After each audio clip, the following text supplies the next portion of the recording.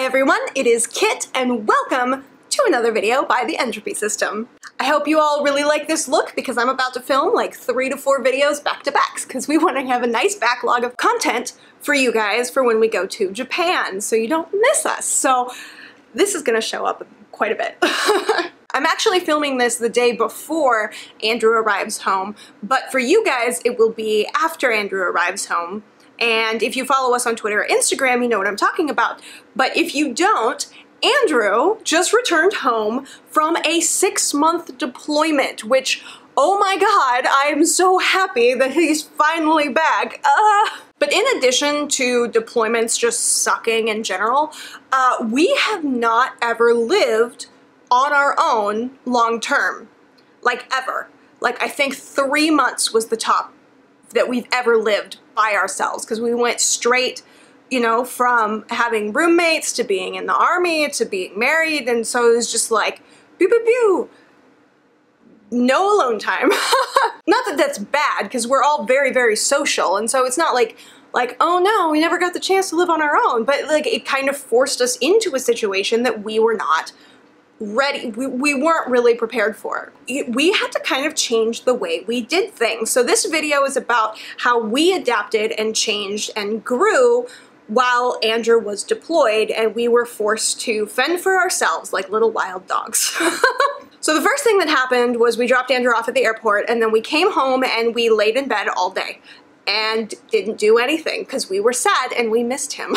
Uh, it wasn't until the next day that Daniel was like, okay guys, like for real though, we need we need to do things. And so he got up and I think he just went like basic necessity shopping, like touched up on groceries and got like toilet paper or toothpaste or something just to like get us out of the house and keep us productive and we slowly built up from there but it took a hot minute for us to start keeping ourselves accountable on our own schedule. Like, I think it took two and a half months before we were on a regular schedule of wake up, go to the gym, come home, you know, like get ready for the day, clean, other than just waking up and being like, well, what are we gonna do today? I don't know. Let's sit on the couch and scroll mindlessly through the internet for six hours and then realize we lost track of time and decide it's too late to do anything productive and just sit on the internet again. Like,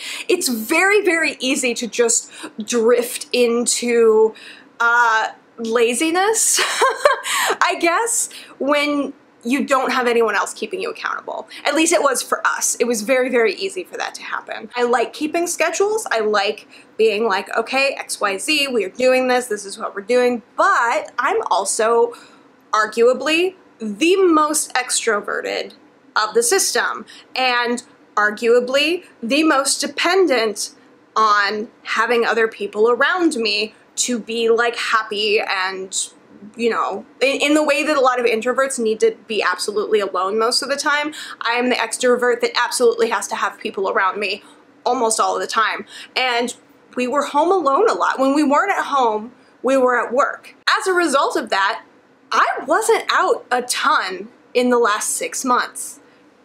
When I was out, it was generally at work or if we were here and like something was time sensitive, like we super, super needed to get something done now, I would come out but even then, if I was out too long home alone, I'd get like seriously depressed. I would just be sad. I'd just be sad and my motivation would start ticking down because I was lonely and like the others would kind of have to force me back inside because I'd find myself getting into that like, well, why even do anything? No one's here. Like I'm all by myself. Nothing matters. Blah. So even I found myself getting into like sit on the couch and mope state we did find ways to keep ourselves busy. You know, we had our job and we had YouTube. And we tried to do like a couple freelance projects like painting miniatures and stuff to try to keep us like gaining more income and um, you know because we're saving up for Japan in August so we were income was very like forward on our brain so like that and just kind of staying busy because you know we went through a period at first like if we don't have any downtime whatsoever and we always are having to be accountable to other people then then we're great, right? it's like, no, that is the opposite, but still a problem. Like, having no time to just like not think about keeping other people happy being like okay i've got to paint now i've got to edit videos now because we were painting we were doing videos twice a week i was oh god we were doing something else too it was just constant like we need to work for other people all the time and not give ourselves a single break because if we do then we'll just be sad but then we were just busy and sad and then we lost motivation that way too eventually we stopped doing all the freelance stuff uh, and just started like being like okay well what kind of hobbies can we do that will fill time but are just for us and we can do on our own time. So like Kim Kim got way deeper into Pokemon. Um, she became a league leader, which is cool. Uh, she also really started getting into cosplay, which has been very rewarding for her. Win and Daniel both started playing um, a game called Kill Team, which is uh, like the little Warhammer miniatures game. But they started getting into that and reading the books and getting to like know the lore, which really helped them. Like, you know, and, and so they they started building on this um, and and we were finally like almost halfway through the deployment able to say okay like we have things that we can fill our time with that make us happy that are productive that you know help us to be social because kill team you have to go meet and play other people. So you know that was keeping us social. We made time to see our friends. Like we started having lunch with Julie or dinner with Julie once a week which is great. But in addition to outside stuff our inside balance started to change as well. So, like, I became friends with Daniel, which is a topic for another video. but we're actually really good buddies now, and I kind of sort of look up to him just because of the way that he specifically was able to help me through the responses I specifically had to Andrew's deployment and just being alone and all the emotions and gross stuff that came up during that time for me. Uh, and with me being out less, Kim Kim was out much more.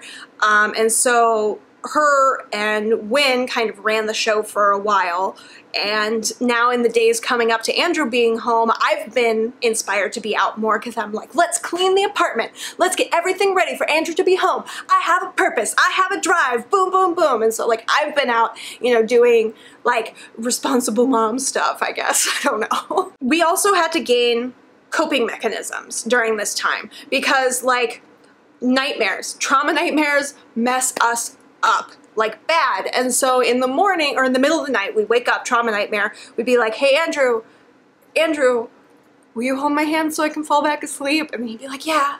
Like half asleep. I don't even know if he woke up half the time, but he would roll over, hold her hand, mm, go back to sleep and be fine and feel comforted. Um, obviously, that's not an option anymore. So we had to figure out how to do that. Ed and Oz are now like really we learned that they're very primed to um, take on any, you know, any like internet unpleasantries. And surprise, surprise, we learned that the best way to keep ourselves from getting overwhelmed by hate comments is deleting them and moving on with our lives without replying. Go figure, right? but Ed Oz kind of guided us down that path. And Andrew's just like, I've been telling you to do this for like since you started the channel and we're like yeah but it's so much easier to fight because you've got emotions.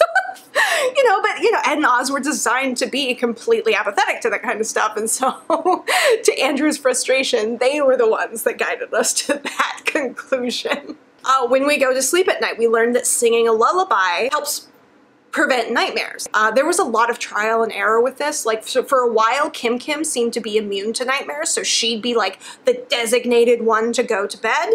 Um, but then I guess that was a fluke or her magic gift wore off because eventually she started getting nightmares too and we were like, well, crap. I'm pretty sure that we found a way to like connect to baby, the baby on the island, and like I don't think the baby fronts, but we can like channel her like super peaceful sleep if we like cuddle up with a pillow and use like a pacifier as we're falling asleep. Like there's just this like very young, like the brain gets super simplified and like everything is just like sounds and emotions. There aren't like complete thoughts or words or even like clear pictures of anything. It's just like physical sensations and sounds.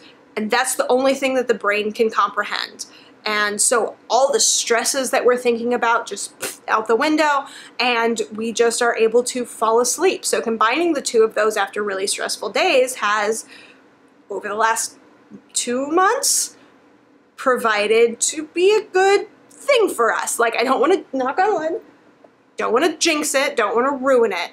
Um, but, you know, we found our own ways to combat nightmares. Um, and I actually, I want to pause and say, like, we have you guys to thank for the whole, like, maybe we can connect with the baby thing. Because someone was like, maybe the baby represents the need to, like, be peacefully asleep. And we were like, yeah. And then, like, we started thinking about that one night before bed. Was something that had never occurred to us. And that was the first night that we felt, like, very, like, young and small. And then all our thoughts kind of faded into fuzz. And then we fell asleep and had no nightmares. So, you guys are great. you help us discover stuff about ourselves. Thank you. So uh, I guess in conclusion, there was a lot of there were a lot of internal changes um, and ways that we handle things and ways that we have grown. Uh, and it was definitely overall probably good for us to to gain that sort of like self-contained strength you know that like we can if we need to we can depend on ourselves and we don't have to have external you know comfort all the time. But holy shit i'm so glad that andrew's coming home because i miss him so so much. Also big exciting news we have an Instagram. You guys have been asking since like day one, and we finally got brave enough to do it. So hit us up. Now we have a Twitter at entropy underscore system, and we have an Instagram, the entropy system, all one word.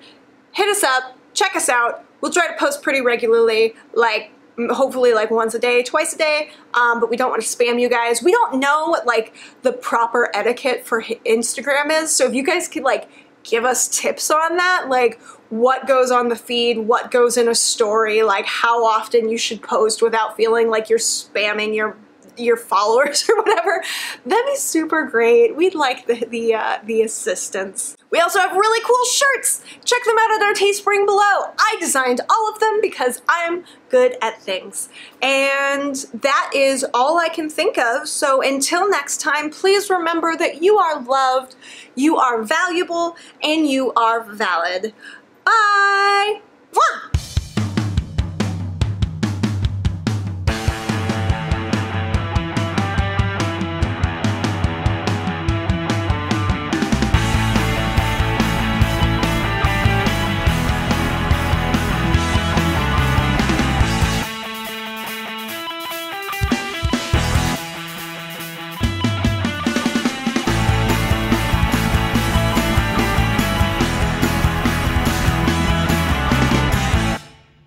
So basically, we're always learning about ourselves. Whoa, Leia just attacked my phone. What? Stop. I've got like a little Eevee that dangles off my phone and she just, it's sitting under the camera and she just like tackled it. Don't do that.